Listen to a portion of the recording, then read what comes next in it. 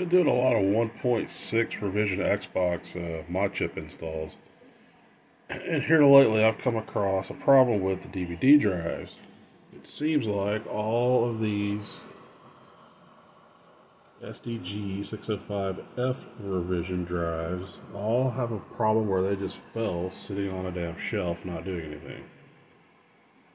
So I've got two here, and this one, this drive is regular 605, it's fine. This is a 605F, and it doesn't read a disk at all. The laser works, I can see the laser light up, goes through the whole routine, does its thing. And I think, I looked at the board, board looks fine, I think it looks damaged or corroded or anything like that, but yet, it looks like the BIOS on these drives just randomly gets corrupted. So, question to my fellow Xbox people is there a way to reflash these drives and make them work?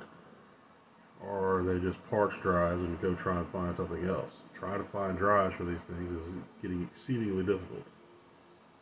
I mean, I can boot it like this machine's got an Aladdin XT in it, so I was able to boot the system up even with the drive failed.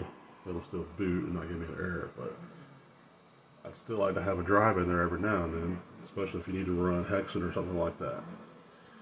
Anyway, if y'all know something, hit me up.